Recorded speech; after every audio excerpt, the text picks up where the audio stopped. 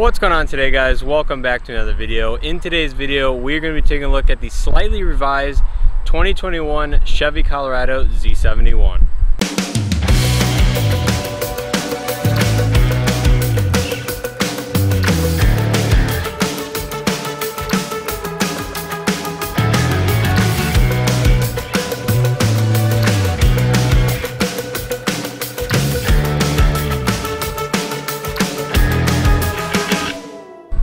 Now before I begin this video, I want to give a huge thanks to Erickson Chevrolet in Milan, Illinois for providing the vehicle seen in today's video. If you guys would like to check out their website, the link will be down in the description below. Now for 2021, the Chevy Colorado is realistically very unchanged since its debut in 2015 uh, with this generation truck. Uh, but for 2021, GM decided to update the exterior just a little bit to give it a little bit of a modern facelift and fit in better within Chevy's lineup with the new Silverado. Now one thing I want to mention before I begin this video is I did a full tour on a 2020 Chevy Colorado if you guys would like to check out the pre-facelift version of this truck. Now that truck was actually equipped identically to this truck that you see in front of you, minus this one has the extra cost red paint color. So if you guys would like to compare the 2021 and the 2020 model year, I'll have a card in the corner of the screen for you guys to check out that video. So like I mentioned in the intro of this video, the 2021 is merely a facelift for the Colorado and the vast majority of the changes that were made were done on the exterior of the vehicle. So in front of us we have a 2021 Chevy Colorado Z71 Short Box Crew Cab. This one is finished in one of the brand new colors for 2021 and that is cherry red tint coat. This color is a very great color. I think it's honestly one of the best reds GM has ever put out on a vehicle. Uh, now the lighting is not the best right now, but the uh, metallic flake and the overall depth of the paint is very good and it's honestly way better than the Cajun red tint coat which is no longer available on the 2021. Uh, but starting up front here, GM also changed that all Z71 trucks are going to have a front black Chevy logo and that is surrounded by the brand new grille design and front bumper design for the 2021 model year. As you can see, it adds a ton of black gloss plastic around the bottom. We do also have some gray trim along the bottom on the Z71 trucks, as well as the gray center portion of the grille. These will be either black or chrome on uh, LTs or other trim levels of the truck, depending on which packages you have um, equipped on the trucks. But of course, you do have your projector halogen headlights with reflector high beams. Those are unchanged from previous model years. And on Z71 trucks, you do have the reflector fog lights down below. Now one other big change on the exterior of the trucks on the Z71 in particular is these new 17 inch design alloy wheels.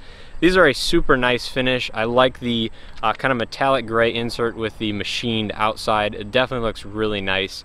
Uh, these are wrapped in Goodyear Wrangler tires, the same size as last year. These are 225, 65, 17 inch Goodyear Wrangler tires, of course with the Kevlar in them as well a good solid all-terrain tire for the Z71 trucks in my opinion.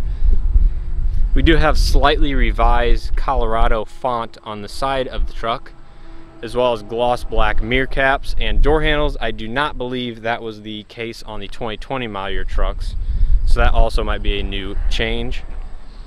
Now coming back to the bed, we do have a new Z71 off-road sticker. I think that looks great, much better than the uh, prior generation.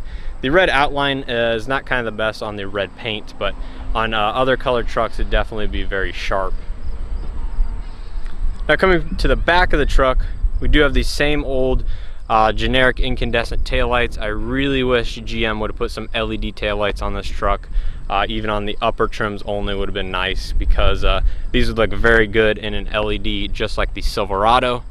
Uh, but coming back to the tailgate, we have another major change on the exterior and that is the Chevrolet embossment or stamping in the tailgate to match the new generation Silverado. So again, this is another change that they made just to bring it in line design-wise with the newer Silverado. Uh, I think it looks very good. The old truck had a Chevy badge right in the center here, just below the handle. Uh, but I think the uh, Chevrolet stamping looks a lot better. Now, of course, we do have your step in the rear bumper as well as the rear parking sensors standard on the Z71 trucks. This one is equipped with the trailering package. You have your tow hitch down below there.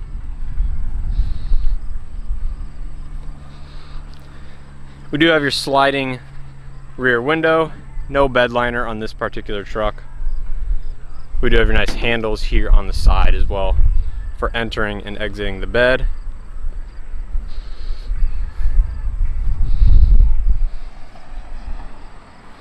Now take a look at the window sticker on this truck. Like I mentioned, this is a 2021 Colorado four-wheel drive Z71 crew cab. This is the cherry red tint coat as mentioned before with the 3.6 liter V6 with the jet black slash gray leatherette interior and of course your 8-speed automatic transmission. Now like I mentioned earlier in this video, this is the identically equipped truck uh, compared to the 2020 video I did minus the cherry red tint coat extra cross color. So you guys should be able to do a direct comparison to that video uh, and the window sticker on that particular vehicle to see any pricing changes between the two model years. Um, I believe they are very close, but I think there is a slight difference in pricing between the two model years. So uh, you guys can see all the standard equipment and everything here on the Z71. But you guys have any questions on any equipment on this truck or any of the other trucks, leave a comment down below and I'll do my best to answer it. Now, like I mentioned, the changes for the 2021 model year pertain mainly to the exterior, so you will not find really any interior changes besides from the infotainment system. Uh, but coming to the door panel, we do have your hard touch plastic as usual your slightly padded armrest here on the door panel, your power windows, mirrors, and locks with your chrome door handle pull. We do have a lot of storage, and I always like that about the Colorado. Um, they're kind of small cubbies, but they are useful nonetheless with a bottle holder in each door. And this is the partial leatherette and cloth interior. You do have your power driver seat. I believe this is a six-way with the manual um, recline.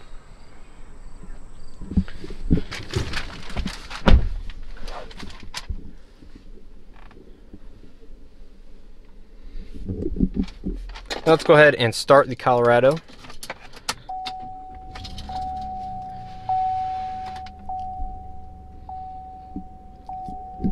Now, of course, this is the same gauge cluster, uh, I believe since launch of the Colorado, so nothing new here. But of course you do have your multi-function display there in the middle. Do have your leather wrapped steering wheel, which is very nice. It is heated on some particular trims. Uh, that is standard on the Z71 and optional on the LT. To the left of the steering wheel, we do have your automatic headlight control, your four-wheel drive control, as well as your dash illumination control. And to the right of the steering wheel, of course, we have your 8-inch HD infotainment system here. This was a addition, I believe, in the 2018 or 2019 on the Colorado. But it, it definitely gave it a new look and it uses the uh, latest Infotainment 3 Plus from GM. Super nice, quick to respond, no real complaints about it. Um, of course, you can see your rear view camera there as well through this infotainment system. Overall, just a nice, simple to use Apple CarPlay, Android Auto, everything like that. Built-in Wi-Fi hotspot with some of GM's apps available. I do like the fact you still have your hard touch buttons down below with two knobs for controlling it. Makes it very simple to use, everything like that.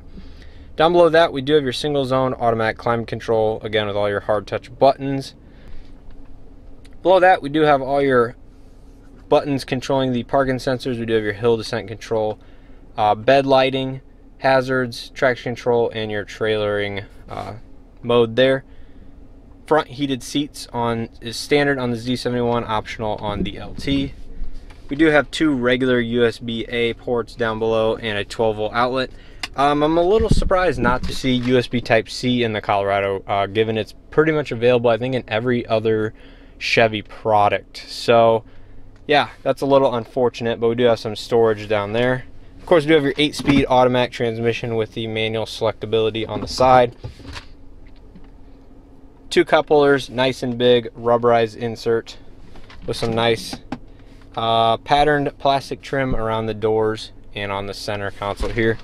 Now, one thing I like to complain about on the Colorado and some of GM's vehicles in particular is the fact that uh, some of the wireless charging pads are ridiculously small in their vehicles. So here is a LG V40. So it's one of uh, LG's bigger uh, flagship phones. This does not even fit with or without a case. Um, so if you guys have a larger phone or just one with a big case on it, you will not get it to fit in the Colorado's wireless charger. Um, I really wish GM would have addressed that by now, given that this Colorado has had that feature for many years now. But we do have your leather stitched armrest here with a nice deep cubby. Always like that about this. Non-adjustable, it's just a fixed armrest, but it's in a good spot overall. Uh, one other addition for 2021 is the Z71 has the standard auto dimming rearview mirror anyway, but GM has made the auto dimming uh, rearview mirror standard on LT and above trim level. So every LT will have the uh, auto dimming rearview mirror as well now. Up here we do have your interior illumination controls as well as a nice sunglasses holder which is padded. Illuminated visors and of course your microphones for the voice commands. But yeah, that is pretty much it for the front seat. Now take a look at the back seat here. Of course, this is the larger crew cab truck, but materials are gonna follow through for the most part with your hard touch up top, slightly padded armrest down here with your power window control, tons of storage once again with a bottle holder,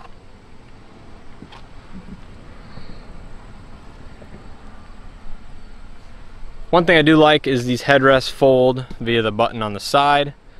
Allows you to clean or to just access whatever you may need in the back much easier. There is a small amount of storage here in the back for tall and skinny things, but uh, you don't want it going any higher than this latch here because obviously the seat needs to latch. Of course, you do have your sliding rear window here. No power or anything like that.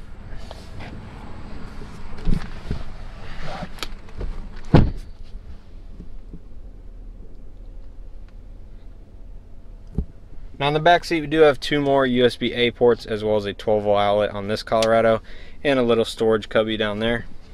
Legroom is very good in the crew cab Colorados. Uh, the seat is pretty far back, uh, but you do have one mat pocket on the back of the passenger seat. And again, you also do have an armrest with two cup holders integrated in them. Very good sized cup holders, very usable. So that's always nice to have. And of course your illumination here in the back as well. Now coming back to the tailgate, of course you do have your pull handle with the rear view camera integrated into it. You do have your soft open, standard on LT and above trucks, but optional on work trucks.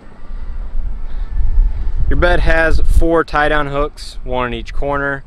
I think that'll definitely change with the next generation considering the Silverado has three on each corner. So uh, more hooks the better in my opinion, but uh, definitely a nice usable bed, everything like that. Of course, you do have your third brake light and the bed lighting up top.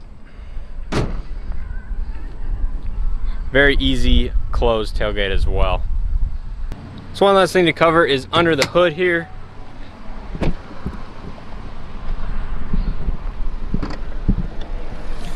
We do have struts on the hood so it self opens, but we do have the same 3.6 liter direct injected V6 pushing out 308 horsepower and 276 pound feet of torque. Uh, that is definitely competitive for a naturally aspirated V6 in the midsize truck segment. Uh, again, this is paired to the 8-speed automatic transmission.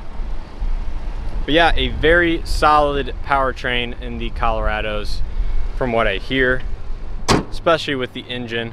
But the 2.8 liter diesel is available on, I believe, uh, the LT uh, Z71 and uh, as well as the ZR1, of course.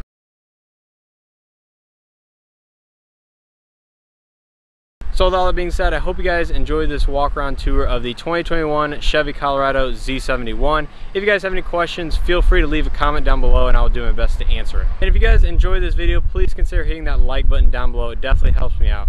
But anyways, let me know what you guys think of the slightly revised 2021 Chevy Colorado. I think I know the popular consensus is that this truck needs to be all new, redesigned, but uh, let me know what you guys think of the Colorado down below. And as always, I'll see you guys in the next video.